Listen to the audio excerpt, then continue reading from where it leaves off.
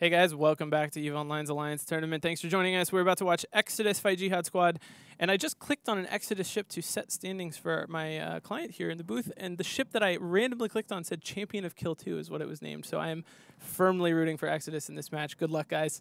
Well, Exodus are big favorites here. They are a really, really strong team, uh, have a lot of tournament tradition, and are just all around good. And they've brought a triple Dominix setup with Damnation and Oneros and uh, some Damp support.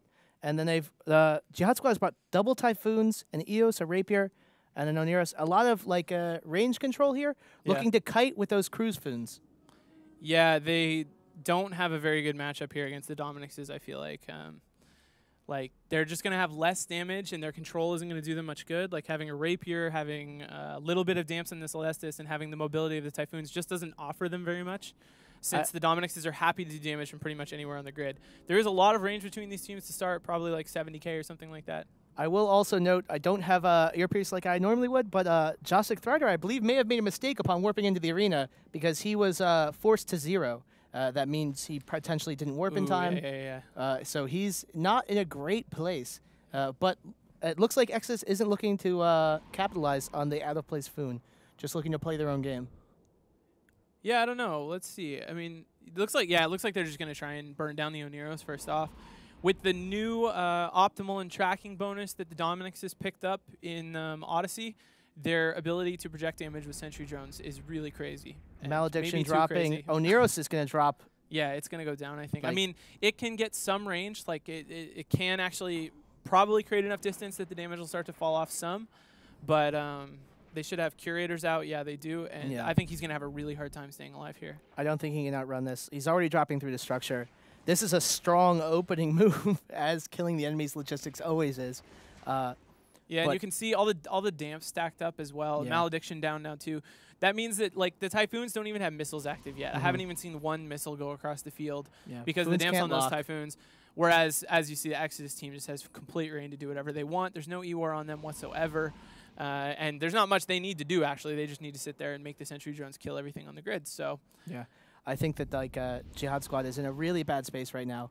Tournament newcomers, I believe. Uh, really rough draw for them in their first round against yeah, Exodus. definitely. Uh, Exodus was in our test tournaments that we ran before uh, this earlier this week. Exodus had really strong showings, especially with this Dominix setup. They actually crushed a uh, Apocalypse Imperial issue all tournament ship fleet without losing a single ship. So so far, when I've seen them field this almost exact setup, they have never ever lost a single ship from what I've seen. They're not doing anything different here. They've killed four ships now, and it looks like they're starting to get uh, to work on those typhoons. Um, it's interesting that maybe three of the best teams we've seen in terms of tournament history today, Outbreak, Verge, and now Exodus, have all brought Dominix setups. I'm curious to see, uh, you know, as we get later in the tournament, how much more common that becomes and what emerges as a good counter to it. Well, Um, what's really important is between uh, this weekend and next weekend, can you nerf the Dominix quickly enough? I probably should. but uh, I don't know. I don't think it's I don't think it's unbeatable or anything. I think that uh, it doesn't have the same raw DPS output that some other teams have. It doesn't have mobility. Um, historically, people have tried to do this sort of setup and really struggled with it. And uh, the tracking and optimal bonus is huge, but I'm not sure um, if it's enough to make it dominate the whole tournament. I hope not, but uh, well, I guess we'll have to see. The thing I really appreciate about the Dominix setups is it allows both a strong opening start with uh, dropping the right range sentries, and then a strong finisher running in there with neuts and blasters and finishing people off. It's true. It is one of the uh, super unique things about Sentry drones as a long range system is that you, you have the option to switch to a short range system late, which no other ships can do. You can't bring an artillery Vargur and then switch late in the fight to an AC Vargur to up your damage, which Dominixes can actually do. So that does make them very, very powerful. If only we allowed carriers in the tournament for people to just refit. I've- Uh, I've started brawling fit blasters. Um, but yeah, like the t- the foons dropping. Yeah, one down, second one about to go down. I mean, this is this is probably the most one-sided match. Even like the Rattlesnake, Rattlesnake, Scorpion, Scorpion team really did better than this. Well, and Jihad Squad's setup was not bad. Like it's better than many of the setups we've seen today. Yeah, maybe. Like they had an idea. They had they had an idea. The idea was cruise foons, control a rush team, Rapier holds them off, Celestis dance them out. Everything else sort of just protects the Rapier. But like Dominix is just deal with so much. Like it's very hard to find a fleet that just like is a strong counter. Yep. Yeah, I mean, I think Dominic's right. dropping Uh, due to a. I'm sure it's a boundary violation. Yeah, Yeah. that's. I wonder if that was intentional or what, but that's. He's. I suspect it was to prove me wrong. uh, ah, ha, he's just posted uh, first in all caps in local. Uh, he is actually the first ship to violate the boundary in the Alliance tournament. So congratulations to Sturm Gower. There's uh, no prize, but uh, you do get my, my a hearty pat on the back. Oh, that's interesting. pat on the Actually, he he said, or someone else said. By the way, they're, they're going to work on this EOS, but like we we always end up saying the EOSs take a little while to burn down. They say good use of the micro jump drive, so he probably micro jumped out of the arena, and we didn't see that.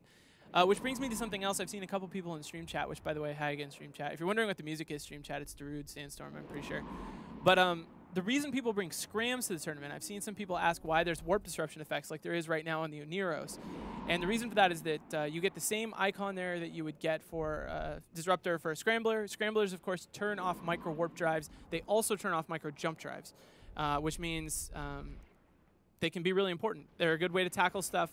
Uh, in this case, they could be a really good uh, way to keep the MJDs from being active. The Sentry Dummies, you can imagine how frustrating it would be if you spend a whole match burning across the field to a bunch of Sentry Dummies, then they just MJD to the other side of the field. So the scram could be really important there. Yep. But anyway, And with the death of that death of that EOS, that's going to be the end of the match.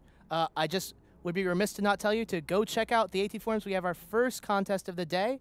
Uh, figure out the puzzle posted by CCP at Turn to win a 60-day Eve time code from Eve Time Codes, one of our wonderful sponsors. Uh, we're going to go on a short break now. Our next match is going to be at 1800 UTC or 1800 Eve time for our Eve players, and that's going to be Noir Dot Mercenary Group versus Shadow Cartel.